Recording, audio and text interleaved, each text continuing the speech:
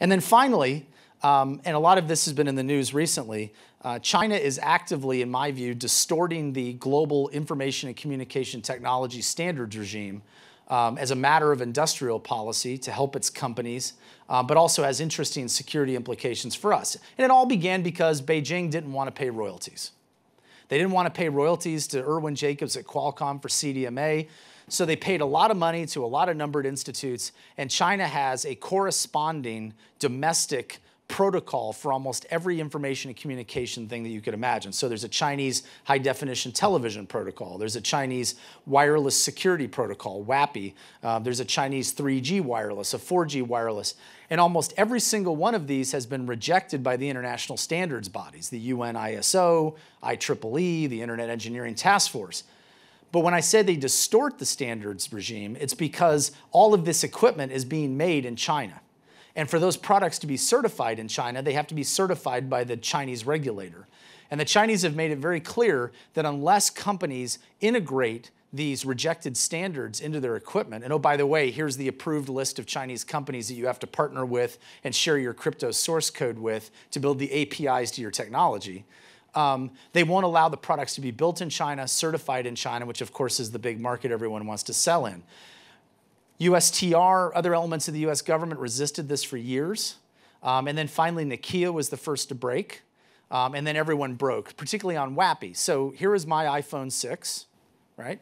And inside this phone is a dual WAPI Wi Fi chipset. It took a long time to find that out, though, because if you try and Google that, Apple has done a very good job of scrubbing any reference to the fact that there is a Chinese wireless security chipset inside this phone which, and I'm happy to get in this in the Q&A, is one of about a half dozen technical compromises that Apple has given into the, to the Chinese government about, um, any one of which makes the FBI's recent request uh, look like a walk through the park. Uh, but they don't want you to know about any of that uh, because they want to maintain the sanctimonious high ground by arguing, well, if we comply with this FBI request, authoritarian regimes are going to ask us for the same thing.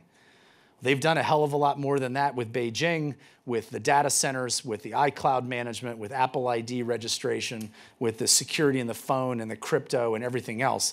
Um, far more than the US government is asking them to do. And why?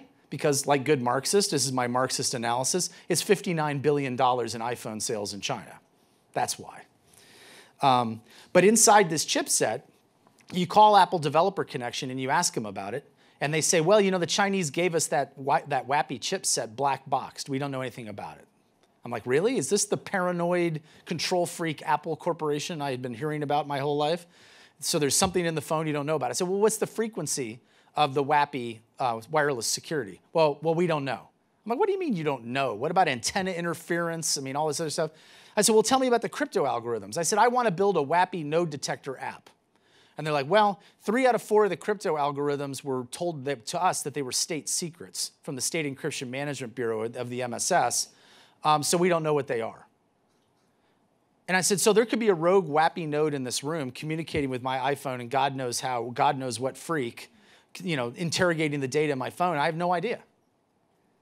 You know, and that was one of a series of technical decisions that Apple made in order to be able to quote unquote comply with Chinese law and be able to have a single unified production chain. Because this is the same, this is exactly the same phone you buy in China.